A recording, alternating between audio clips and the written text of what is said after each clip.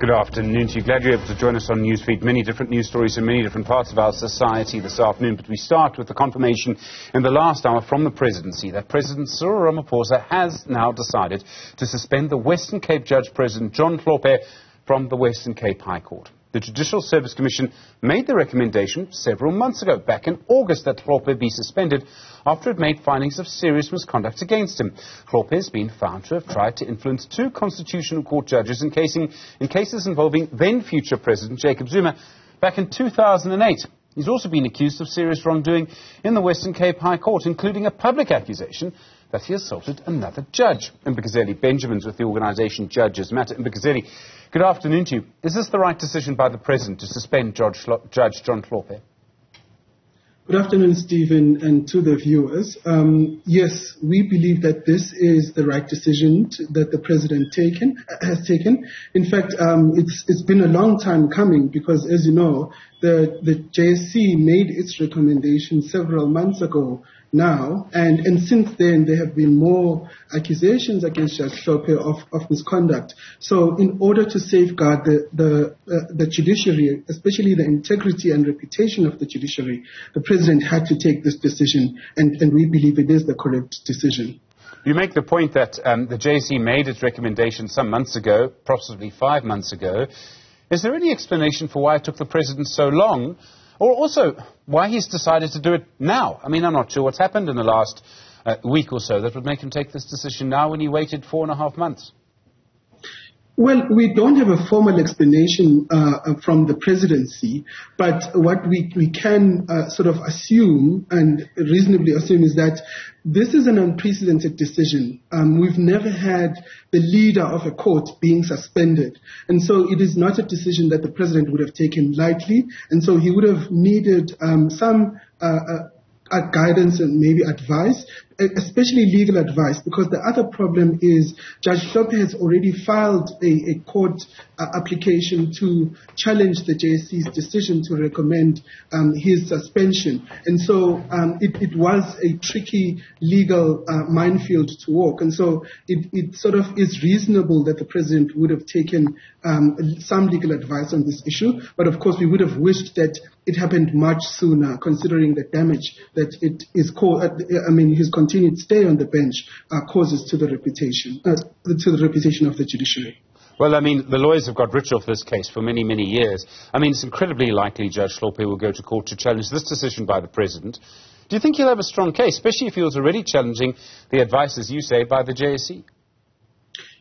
Well, um, he has put strong arguments in his papers to say that the JSC should not have taken to suspend him. Um, but of course, earlier on, the High Court in Johannesburg had, when, when he brought that initial review, um, the High Court said it's untenable that um, one could read uh, the, the, the, law and the Constitution to allow the, the, a judge who's been found guilty of serious misconduct to stay in office indefinitely until all his court uh, uh, uh appeals or court decisions have been taken. So in this instance, um, there, there is no legal impediment, and the court told us that it, it's untenable for uh, a judge to, in his in, in Judge Hlophe's position to stay. So I think um, overall, I think the bottom line is that he will be suspended um, because that decision is taken. He will take it on review, but already there is so much uh, that has been said by the courts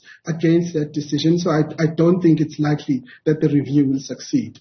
Well, this is, I mean, this would be my prediction of what is likely to happen now, okay? I mean, I'm a television anchor. I'm not supposed to make predictions, but we've all been following this case for years.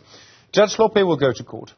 And then he will argue that he should remain in office while all of these court applications are heard. And each court application can take up to 18 months. You go to the Western Cape High Court, you lose, you appeal. You go to the Supreme Court, you lose, you appeal. You go to the Constitutional Court.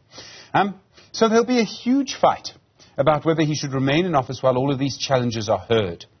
And I mean, that's a fight that itself will probably go to the Constitutional Court. How do you see that playing out? Well, first of all, I, I, don't think that it is possible that he will stay in court while um, he challenges these decisions um, or the president's decision because this is the president's exercising a constitutional power in terms of Section 177 of the of the Constitution.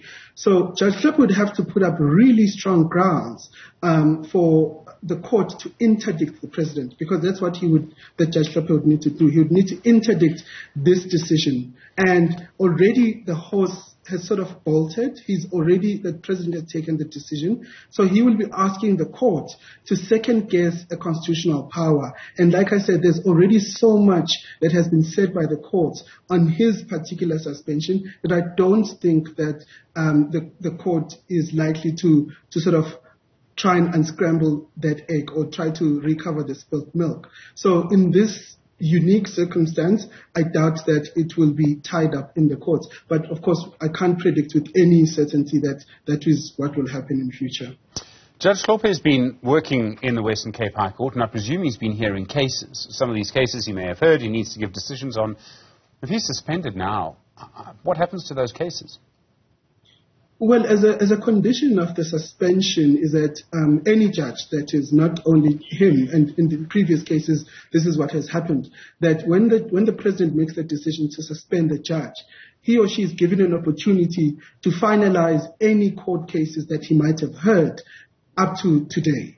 Um, so he will have an opportunity, if he's maybe had a trial or there's a judgment that is still outstanding, he has to finalize those within a reasonable time, but he still goes on suspension. Wow, I can't imagine having a case before a judge who's then suspended and only after they're suspended hearing the judgment.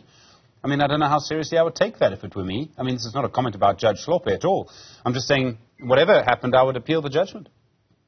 Well, remember, before the suspension, that judge is, is a judge of the High Court or of a, any court in, in this country. And, and until the, the point of suspension, um, he is authorized by law and the constitution to carry out his, his uh, responsibilities as a judge. So um, until the president makes the decision to suspend, then the judge has to carry on as if they are not suspended. Only after, remember here, um, the Judge Hlophe will not hear any new cases. There will be no new cases that he will hear from today, but any cases that he might have heard last week three months ago or, or, or whenever, those ones have to be finalized because it would be too disruptive and too costly to bring them before another judge.